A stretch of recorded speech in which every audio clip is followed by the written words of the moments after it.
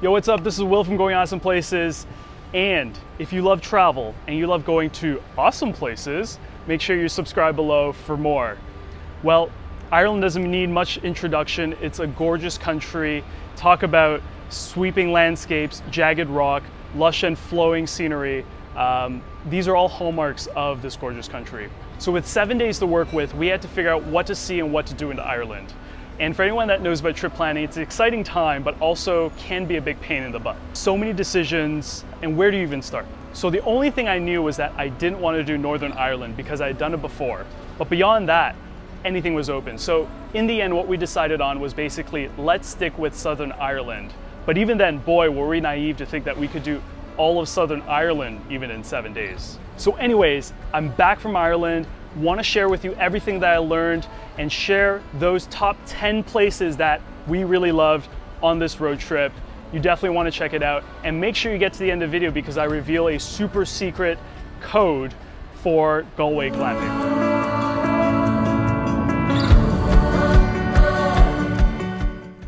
I kind of need to start here, right? I mean, Jeebus, it's freaking incredible. Yes, I'm a Star Wars fan, and yes, I totally brought a mini lightsaber, and yes, I totally dueled a kid while I was there, but it's so much more than that. You get on a boat in Portmagee and you're out in the middle of the ocean with these two giant islands that jut out of the water. The first one, aptly named Little Skellig, looks like white. And you think it's, it's really just a white island until you get up close and then you see all the birds. Past that, you have Skellig Michael, which is the sanctuary ecosystem for so many unique species of birds, including the puffin. I almost forgot about the monastery when we got off the boat because of the tens of thousands of puffins that we saw. June is really the most perfect time to go because that's when they're all there and they just hatch their newborns. I mean, Skellig Michael was definitely one of our favorite experiences of the entire trip.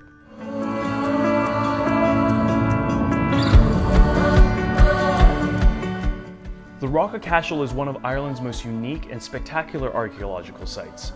It is legitimately a castle on a hill. Set over the castle on the hill. Found on a prominent green hill banded with limestone outcrops, rising from a grassy plain and bristling with ancient fortifications, this was the traditional seat of the kings of Munster hundreds of years ago prior to the Norman invasion. This picturesque complex has a character of its own and is one of the most remarkable collections of medieval architecture to be found anywhere in Europe. Most of the structure is intact, and what a sight it is to see.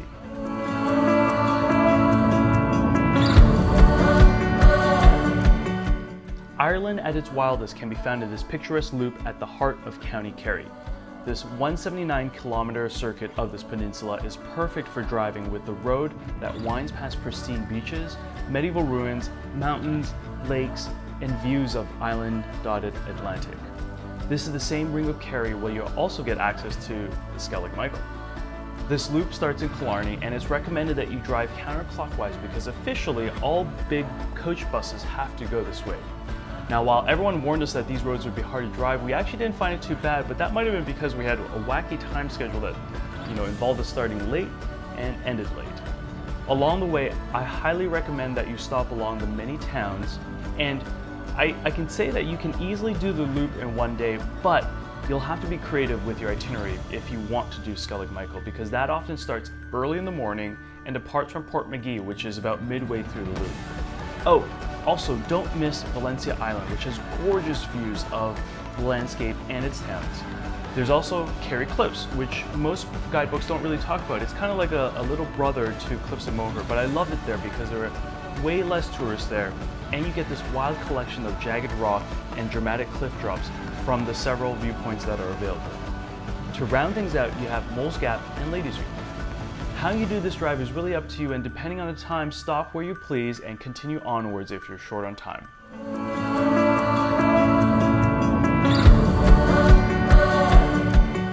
Perhaps the biggest surprise of this trip for me was the entirety of the Dingle Peninsula. This may be a little less famous than its cousin, the Ring of Kerry, but it is equally, if not more charming and beautiful. It's a place where lands meet ocean, The sharp rocks jut out of the water, tiny settlements spread all over, and sandy coves appear once in a while. Here you'll also find an ancient landscape of ring forts, beehive huts, early Christian chapels, picturesque hamlets, and abandoned villages. The most memorable thing here is the drive around where things can get a bit hairier than the Ring of Kerry because you actually get really close to the edge and the roads narrow to one lane along Slea Head Drive. Don't miss the town of Dingle either because you'll find some amazing food here, Fungie, the dolphin, and charming streets.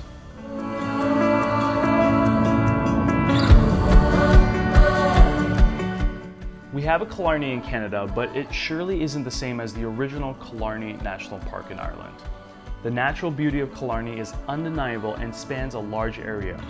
During your visit here, though, you'll most likely base yourself in the city of Killarney, and from there you'll be able to enjoy the sights of Muckross House, Muckross Abbey, Ross Castle, and Torc Waterfall.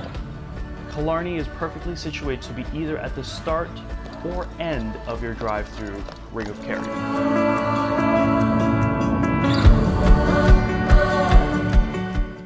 A trip to Ireland wouldn't be complete without this behemoth site.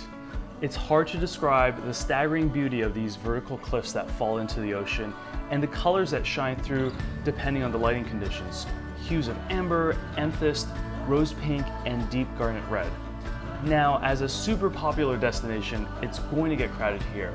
Now, if you check out the blog, you'll see that I've dropped a ton of super secret tips about one, not paying for parking, and two, where the best spots are to hike to and take photos from.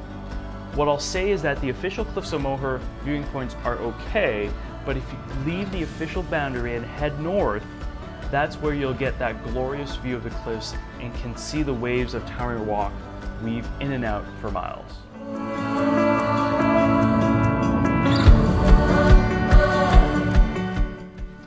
I think what really impressed me about Ireland is just how distinctly different each county is. Once you get to County Clare, not only do you have the Cliffs of Moher, but you also have this alien-like landscape in the Burren National Park. What's interesting about this park is that it's not run like your standard national park that you're used to with an official entrance. The visitor center is actually in a nearby town, and for the park, you kind of just take a small road through it and if you know your hiking trail routes, you just park on the side and head out.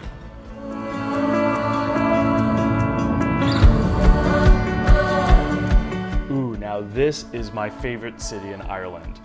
What I love about it is that it's comfortably small, to be easy to explore, full of energy from the locals, delicious food, it's approachable, it's fun, it's artsy, and it's bohemian. Don't miss the buskers, live music, boutique shops, cafes, and local restaurants along the long promenades of pedestrian streets. We had a lot of fun at Galway. I've stayed at prisons converted into a hostel in Sweden. I've been to Alcatraz, but I have to say that this is the most fascinating prison I've been to. Steeped in a dark history, our guide walked us from wing to wing, recounting the story of the painful path to independence and the famous inmates that resided there. The most memorable part is the newest wing, actually, of the prison, which was a big change in philosophy to incarceration, which led to open spaces and a lot of natural lighting. My only regret was that I didn't know enough about Irish history to start to remember all the inmates that were named. Make sure you book your tickets online because they sell out and they have fixed times for their excellent, excellent tours.